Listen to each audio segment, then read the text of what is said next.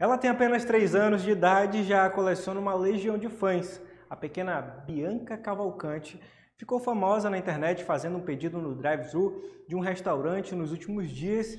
O vídeo atingiu mais de 5 milhões de visualizações após uma sequência de gravações em que corrige erros de português na fala dos pais que fazem testes diante da câmera. Em fase de alfabetização, sempre que houve uma palavra ou construção fora da norma culta, a garota corrige automaticamente.